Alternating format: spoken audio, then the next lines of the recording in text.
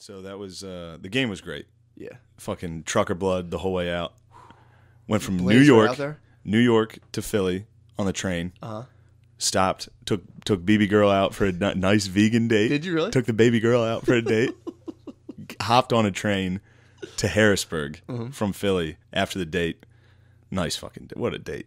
One of one of the best dates. So you're just hopping trains. Hopping trains, breaking hearts. God Damn, you're just hopping a train, eating vegan, farting your whole way to Facebook. so then uh God, I love her so much. Oh fuck, Dude. Jesus Christ. she's the best. And then uh I hopped in a rented car, Mm. drove the drove straight out to South Bend. Got there at From seven AM Damn, dude. all night. Got there at seven AM. Holy, dude. So I mean, also you're making comebacks. Eminem's making a Me comeback. and Eminem both made a comeback this week. Yeah, literally. he made it a hard comeback. this podcast still sucks. doesn't. It's Both just smiling like it was better fine. when I was sad. Now it's no, like it's great. Things dude. are great. It is good. Oh man! But then, uh so we drive out, go to the game. My uh uh, this is hilarious. So I took me and O'Connor went out. Uh, my aunt, we stayed at my aunt and uncle's house, and my aunt, sweetest lady in the world. I don't know if I should fucking put her on blast like this, but the food that she makes, she fucking sucks at cooking. So A lot of. Irish people can't cook. she can't cook to save her fucking life, and then she forces you to eat it. Really? Yeah, like big plates of just dog shit food, and like I knew it was coming, but watching watching O'Connor have to like eat like. So the first night we're out there, she makes meatball subs. Mm-hmm. This is what she said. It was just there was no. It was like sloppy Joe.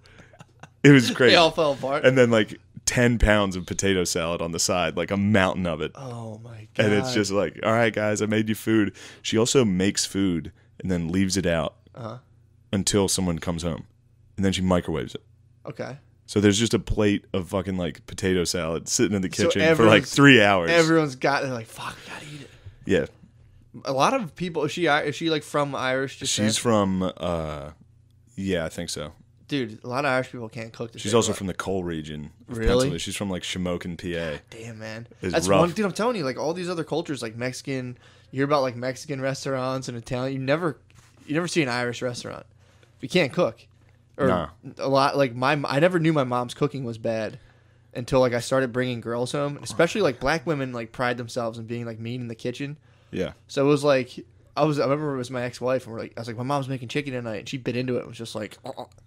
and she was like, why is it so dry? I'm like, no, this is just what chicken tastes like. this is chicken. You have to drink a glass of water with it every bite. That's how we eat. That's what I thought. Every, I always told people, I'm like, dude, I hate pork chops. They're so dry. They're like, dude, pork chops aren't dry. They're like really like juicy and succulent. And I was like, nah, pork chops are really dry, dude. You Yeah. probably haven't. Like, it's just my mom would just fucking scorch. I'll tell you what, my aunt, my aunt does not have a problem with dry. She has a problem with every single thing is soaking wet for no reason. I have no idea, dude. So for breakfast on Saturday morning, she's like, "Do you guys want breakfast?" It's just like, "Fuck, fuck." Here it comes. Yes. She's got two. This is one plate. She's got uh-huh. two bagel, ham, egg, and cheese bagel sandwiches, and then scallop potatoes. Like cheese scallop potatoes for breakfast, like a Irish. mountain of potatoes, and the, the bagels were like soaking wet. I have no idea. It was chaos. Maybe microwaved. Were they, And how then she would chewy were microwave they? them. How chewy were they? How chewy were they five minutes into the sandwich? They also had no taste. Not one single thing she made differentiated. Yeah, the they- meatball sub that was just like ground beef Mm-hmm. and ketchup. I mean, dude, the fucking. That's the other thing too with seasonings. I didn't know like. Like I, I grew up when you just put salt and pepper on your food, and like if you wanted to taste good, you just put a lot of salt on. It. Yeah, it. Like, ton of dude, salt. This is delicious. Yeah.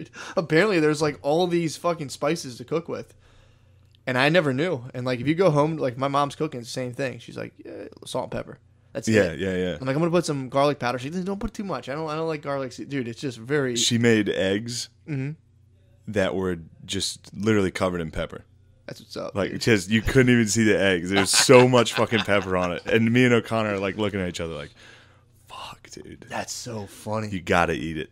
That's deli- That sounds fucking delicious, dude. It, was, it wasn't. All right, so uh, enough trashing my aunt's cooking. Hey, it is what it is.